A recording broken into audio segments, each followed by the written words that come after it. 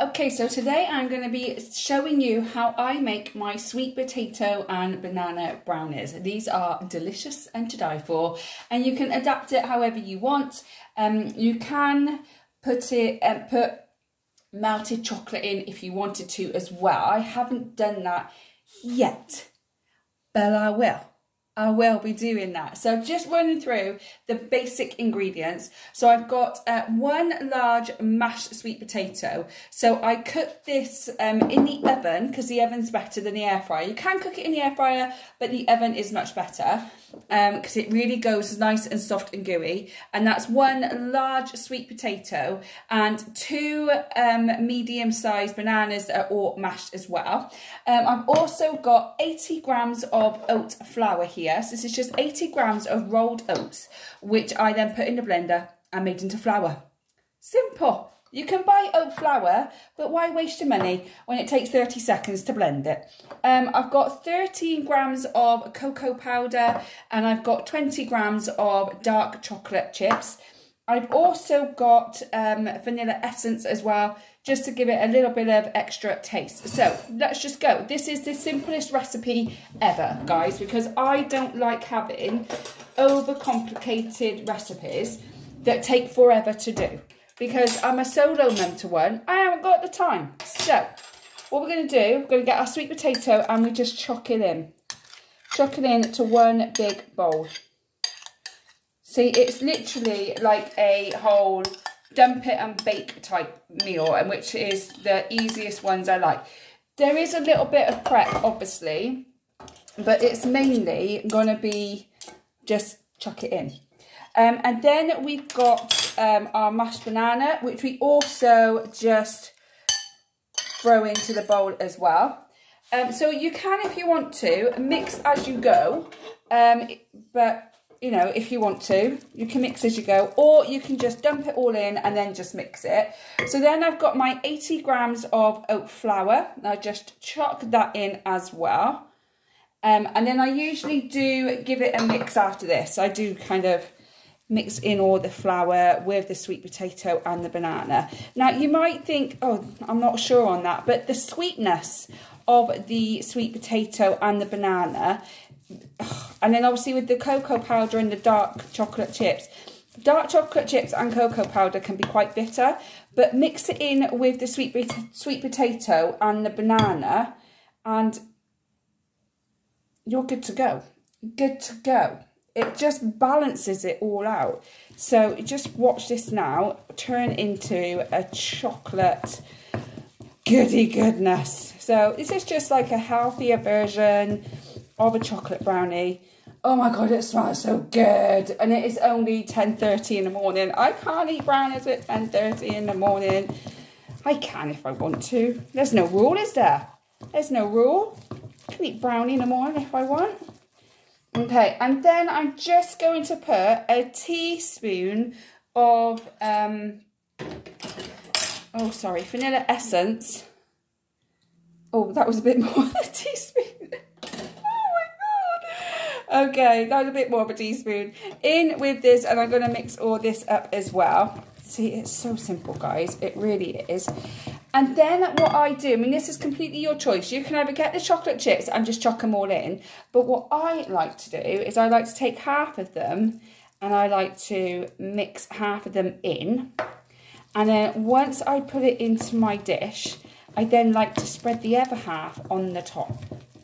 So this usually gives me around about 8 to 10 slices, but because I find it so rich, what I tend to do as well is that I split that again, so I get 16, because because the cocoa powder and the dark chocolate chips are quite bitter, it does give it that beautiful rich taste, but I feel sometimes that can be a bit sickly and a bit too much, so I only kind of um, have I cut it into eight and then I cut it again, so I get about 16 pieces altogether. So now we're just going to put that in a tub.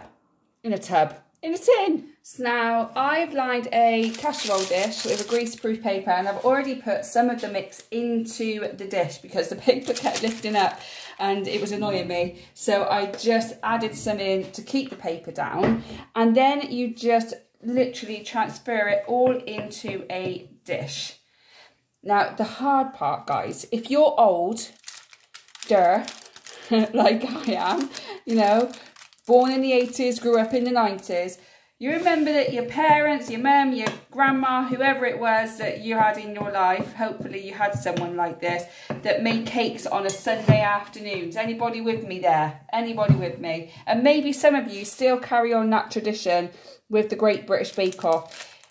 I have a big brother and there was always a fight of who was going to lick the spoon.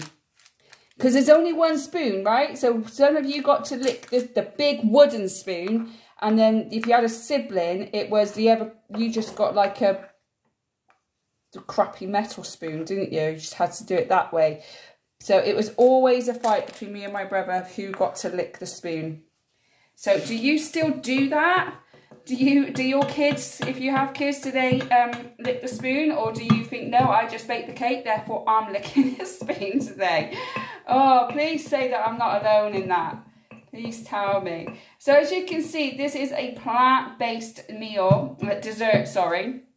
I mean it could be a meal. If you want to be if you want a chocolate brownie for your whole dinner go for it. Go for it. There are no rules Maybe not the happiest, but no rules.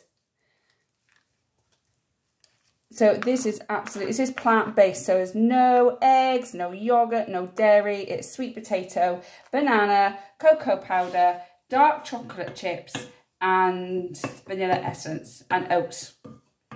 It's so easy to do. And most of the time, people have this in their cupboards. Um, I don't think it will work so much with just like normal potato um, because it's the sweetness of the sweet potato that you need. So that is it, guys. Look, that's it. That's all you've got to do. I've already preheated the oven to um, 180, yeah, 180. Um, and I'll probably bake this for about 20 to 25 minutes. And then I just put the rest of these chocolate chips on the top. And then if you want it to be like quite gooey, when you stick a knife in or toothpick in or whatever, whatever you want to do, when you stick it in, when it comes out, it should have a little bit of like um, brownie mix on the knife still, and that'd be a nice gooey brownie. If you prefer not to, keep cooking till it comes out clean. But every each to their own, really. But 20 to 25 minutes um, on 180 in a pre preheated oven and it'll be done. So that's what it looks like before. Really nice and simple. So I'll come back to you when it's done. So here is the finished product, guys. So this is what it looks like on the outside. You can see a few of the banana chunks. If you don't want that, you could possibly with the mix blend it all together and then just pour it in that way so this actually only made six i think it's because i had a larger casserole dish than i usually use um, but you know they're quite big so I could cut that in half again uh, and make 12 pieces here um, so yeah this is uh, this is the finished product it looks absolutely lovely nice and dark and gooey on the top and then as you can see in the middle it's a bit more lighter um, so yeah, so if you do try this, do let me know if you try it. If you've got any other ideas of what I could do, um, do let me know. I do like to experiment in the kitchen. I'm no perfect cook or no perfect chef, but it's edible, it's delicious, and that's all that really matters, isn't it? So uh, I'd love to know your thoughts. I'd love to know if you tried sweet potato brownie or if you would, uh, if you do it yourself, do you put any extra ingredients in that maybe I can try?